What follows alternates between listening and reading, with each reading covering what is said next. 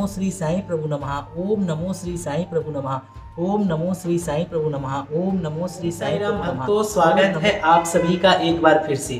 आज की इस वीडियो में मैं आप लोगों को बताऊँगा कि अगर आप लोगों के घर में आपसी वैमनस्य और हमेशा तनाव की स्थिति बने रहती है तो आज का जो उपाय है वो आप लोगों के लिए बहुत ही ज़्यादा लाभदायक होने वाला है। क्योंकि ये उपाय हम बाबा की द्वारका माई से जी हाँ आप सभी देख सकते हैं पीछे में जल रही बाबा की अखंड धुनी और बैठे हुए शिरडी के साईं बाबा। बाबा की द्वारका माई से ये उपाय को मैं आप लोगों के लिए लेकर आया हुआ हूँ। तो चलिए भक्तों, मैं आप लोगों को बताता हूँ। भक्तों, अगर आपके साथ भी ऐसा होता है कि आपके घर में माता लक्ष्मी का आगमन नहीं हो रहा है, और जब भी आप प्रातः काल में सोकर उठते हैं तो आपके मन में, दिमाग में एक अलग सा उलझन बना रहता है। तो साथ ही आपके सारे परेशानियों का हल इस वीडियो में आपको इस उपाय से मिलने वाला है। क्योंकि जो चीज़ हम बाबा की पूजा में प्रतिदिन करते हैं, उसी चीज़ को मैं आप लोगों को बताने जा रहा हूँ, जो बहुत ही सरल और सहज उपाय है। तो चलो भक्तों, मैं आप लोगों को बता देता हूँ कि आखिर आप लोगों को करना क्या है। भक्तों, आप लोगों से बस एक आग्रह कि अगर आप लोगों ने अभी तक अपने इस चैनल को सब्सक्राइब नहीं किया है तो सब्सक्राइब कर लीजिए और नोटिफिकेशन बेल को ऑन कर लीजिए ऐसे ज्ञानवर्धक वीडियो प्राप्त करने के लिए, क्योंकि हम बाबा की द्वारका माई में बैठे हैं। और अगर आपके जीवन में कष्ट है परेशानी है तो आप सभी भी बाबा की द्वारका माई के लिए एक माह, एक दिन की लकड़ी ज़रूर दान करें, ताकि आपके कष्टों को साईं बाबा की दूरी में बाबा जलाकर खत्म करें। तो चलिए मैं आपको बताता हूँ अब उस उपाय को। आप लोग बाबा को प्रति गुरुवार को या हर दिन जैसी आपकी शिक्षा रहती है गेंदे का फूल की माला पहनाते हैं। तो आप लोगों को करना क्या है? सिर्फ़ और सिर्फ़ ग्यारह गेंदे का फूल लेना है। तो आप लोगों को करना क्या है? ग्यारह गेंदे का फूल लेकर हर गुरुवार को, जी हाँ याद रखिएगा, हर गुरुवार को आपको इसको चढ़ाना है और चढ़ाते समय आप लोगों को कोई भी मंत्र साईं बाबा का, या तो फिर ओम श्री साई नाथाय नमः, या फिर साईं बाबा का जो गुप्त मंत्र हमने अपने यूट्यूब चैनल पे डाला हुआ है, उसे भी आप 11 बार बोलकर 11 फूल को प्रति गुरुवार को चढ़ाना है। मैं मंत्र बता देता हूँ, मंत्र है, ओम नमो श्री साई प्रभु नमः। ओम नमो श्री साई प्रभु नमः, इस मंत्र को बोलना है, ग्यारह फूल लेना है और अपनी परेशानी बाबा को बताकर ग्यारह बार जाप करके ग्यारह फूल को बाबा के श्री चरणों में आपको हर गुरुवार को अर्पण करना है। तो ये काम आपको सिर्फ़ और सिर्फ़ सात गुरुवार तक करना है और आप लोगों को बाबा के श्री चरणों में जो आप फूल चढ़ाते हैं, उसको वहीं पर किनारे पर सात गुरुवार कहीं पर इकट्ठे करके रखते जाए, उसे आपको वहाँ से हटाना बिल्कुल भी नहीं है। और अगले गुरुवार आपको उस फूल को उठाकर, या तो आपके घर में क्यारी होगा मतलब पेड़ पौधा अगर आप लोग लगाते होंगे तो उस क्यारी में उसको डाल देंगे तो ऐसा करने से वहाँ पर नया फूल भी निकल जाएगा। लेकिन एक हफ़्ता तक उस फूल को आपको नहीं हटाना है, बस किनारे करके रखना है और अगले गुरुवार को उसको उठाकर किसी क्यारी में आपको डालना है, जिससे नया फूल वहाँ पर उग जाएगा। अब बहुत लोग ये कहेंगे कि 11 फूल हमको चढ़ाना है गेंदे का, लेकिन अगर पीला फूल नहीं मिल पा रहा है तो कोई बात नहीं है।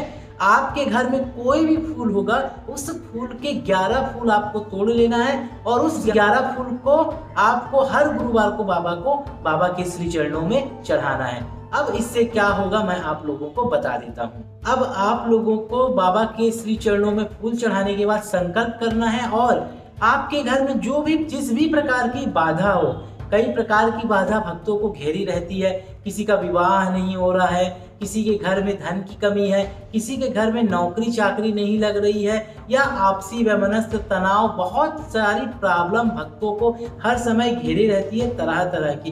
तो आप ये संकल्प ले लें तो जो मैंने आप लोगों को उपाय बताया है, जैसा कि आप सभी जानते हैं कि 11 अंक शुभ होता है 21 अंक शुभ होता है, इसलिए 11 फूल का मैंने आप लोगों को ये उपाय बताया जिसे आप लोगों को करना है। अगर आप चाहते हैं तो आप इक्कीस, इक्यावन, एक सौ एक का भी फूल का भी उपाय ये कर सकते हैं। और जो पीला फूल हम चाहते हैं, उसका मतलब होता है गुरु के प्रतीक मतलब पीला फूल बहुत ही ज़्यादा शुभ माना जाता है। जिसके घर में गुरु की कृपा होती है, उसके घर को साईं गुरु खुद ही चलाते हैं। इस पीला फूल का यही बहुत बड़ा महत्व माना जाता है। तो ये माना जाता है कि जब हमारे शिरडी के साईं बाबा की प्रतिदिन हम पूजा पाठ करते हैं और जब बाबा प्रसन्न होते हैं तो उनका निवास हमारे घर पर हो जाता है। इस उपाय को आप लोग करके देखिएगा। बहुत ही चमत्कारी उपाय है। जिसे करने से आपको चुटकियों में लाभ प्राप्त होगा। अब मैं एक आध उपाय और आप लोगों को बता देता हूँ। आप एक चीज़ और कर सकते हैं कि जब आप 11 फूल चढ़ाएँ तो बाबा के 11 वचन 11 बार बोलना है। कैसे? मतलब अगर आप एक फूल अर्पण कर रहे हैं तो एक फूल अर्पण करते समय 11 वचन को एक बार बोले। मतलब जो शिरडी में आएगा, आपद दूर भगाएगा। चढ़े समाधि की जो सीढ़ी, पैर तले वो दुख की पीढ़ी, त्याग शरीर चला जाऊँगा। भक्त हेतु दौड़ा आऊँगा। मन में रखना दृढ़ विश्वास, करे समाधि पूरी आस। मुझे सदा जीवित ही जानो, अनुभव करो, सत्य पहचानो। मेरी शरण न खाली जाए, हो तो कोई मुझे बताए। जैसा भाव रहा जिस जन का, वैसा रूप हुआ मेरे मन का। भार तुम्हारा मुझ पर होगा, वचन न मेरा झूठा होगा। आशा हेता लो भरपूर, जो मांगा वो नहीं है दूर। मुझमें ऋण वचन मन काया, उसका ऋण ना कभी चुकाया। धन्य धन्य वो भक्त अनन मेरी शरण तक जिसे नन ये ग्यारह वचन सभी भक्तों को याद है। तो आप सभी एक फूल अर्पण करें, ग्यारह वचन बोले। एक दूसरा फूल अर्पण करें, ग्यारह वचन बोले। तो इस तरह आप लोगों को साईं बाबा के श्री चरणों में ग्यारह फूल चढ़ाना है। और जो भी आपकी परेशानी है, जो भी मनोकामना है, आप लोगों को बाबा को बताना है। तो चलिए एक एक करके हम फूल अर्पण कर देते हैं और आप लोगों को एक फूल में एक बार मंत्र जपना है। हो सके तो ग्यारह वज़न का जपना है। तो सबसे पहले हम बाबा के श्री चरणों में चढ़ाते हैं। ओम नमो श्री साई प्रभु नमः, ओम नमो श्री साई प्रभु नमः। ओम नमो श्री साई प्रभु नमः, ओम नमो श्री साई प्रभु नमः, ओम नमो श्री साई प्रभु नमः, ओम नमो श्री साई प्रभु नमः, ओम नमो श्री साई प्रभु नमः, ओम नमो श्री साई प्रभु नमः, ओम नमो श्री साई प्रभु नमः, ओम नमो श्री साई प्रभु नमः, ओम नमो श्री साई प्रभु नमः। इस तरह हमने 11 फूल बाबा के श्री चरणों में अर्पण कर दिए हैं, क्योंकि हमें गेंदा फूल नहीं मिला, इसलिए हम पीला फूल अर्पण बाबा को कर दिए हैं। इस तरह आप भी करें और आप लोगों को अगर इस उपाय से लाभ होता है तो कमेंट करके आप अपनी राय ज़रूर दिखाएँ। कमेंट करके आप अपनी राय ज़रूर बताएँ। ये बाबा के श्री चरण है और ये बैठे हुए हैं शिरडी के साईं बाबा। तो चलिए, आपको अगर वीडियो अच्छी लगे तो लाइक करें, चैनल पे नए हैं तो सब्सक्राइब करें। हम मिलेंगे इसी तरह के और वीडियो के साथ। तब तक के लिए बहुत बहुत धन्यवाद। ओम साई